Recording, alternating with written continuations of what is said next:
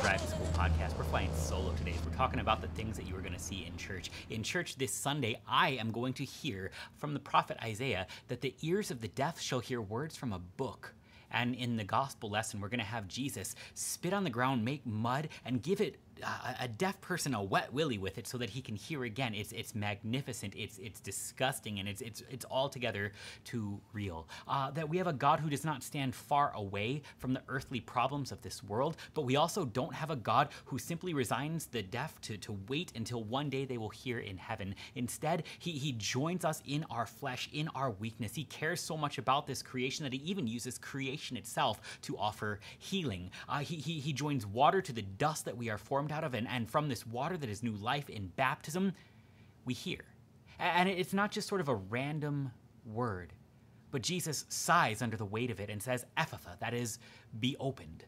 Not just so that the deaf man can talk to his family, but so that he can hear the words and promises of Jesus, the words of the Word, Jesus, who is come to earth, made flesh for you, for me, for all, to carry our sins, to carry our weaknesses, to carry even our disabilities to the cross where he will bleed and die and rise again. You see, the gift of these readings sort of knit together is Jesus uh, is, is promised in the Old Testament. We know that the Savior is coming, and, and, and it talks all the time about all these great things that are going to come to pass, and we look around this world and we just don't see them.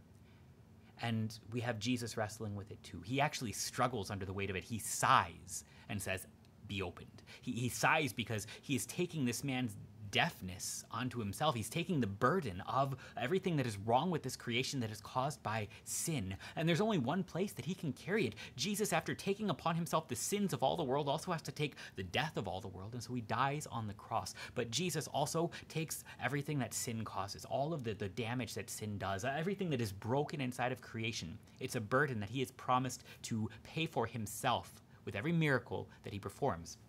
You see, the miracles, it's not just that some people get healing and most people don't. It, it's not just that, you know, some people, if they are really good enough or they pray hard enough, they somehow get God's attention, then they can get the miracle that they need. It's that all of the miracles, whether you see yours or not, have already been paid for on the cross because a miracle is undoing something that has been broken by sin. It's healing a disease, and the disease is part of that thing that leads to death. It comes from sin. It's casting out a demon, a vanquishing of the devil. It's, undoing the damage of sin because, well, that's, that's what God does. He bears your sins and everything that comes with it for you, that you would have his life. So whenever Jesus performs a miracle, there's a cost to it it actually costs him something. You actually see him sort of suffer under the weight of it, even as he trudges with that man's burdens all the way to the cross where he will die for him.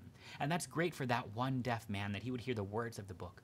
But if you are still looking for your miracle, this actually speaks to you too.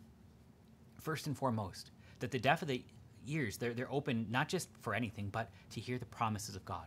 So if you are still looking for your miracle, hear the promises of God. He died for you. He rose for you. So that when you struggle looking for your miracle, you can say, It has already been paid for. And so if I don't see it yet, it's coming. It's coming because it was already bought. It, it's sort of like waiting at the door for the UPS man. I know that guy's going to come here with all the junk I ordered from Amazon sooner or later.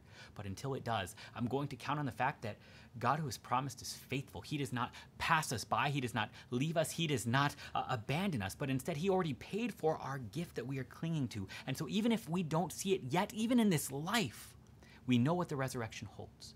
It holds the undoing of everything that destroys us. It makes Christianity not simply a how do I get more stuff in this world, but a God who joins us in this world to even restore what is broken inside of it so that I don't need it to be perfect right now. But I can wait even now until the resurrection when I know that it will be. Because at last, in that last great day, when all of the promises of the Old Testament they are made concrete in the resurrection of the body and the life everlasting, we have the very same Jesus who joins us in the flesh, raising us in our new and perfect flesh, that we would live with him in eternity, that we would celebrate forever the joys uh, of a creation that God has made for us without the damages of sin, that we would ever rejoice in his presence and in his gifts. This is what we're going to get to hear in church on Sunday. So I'm going to go. You should too.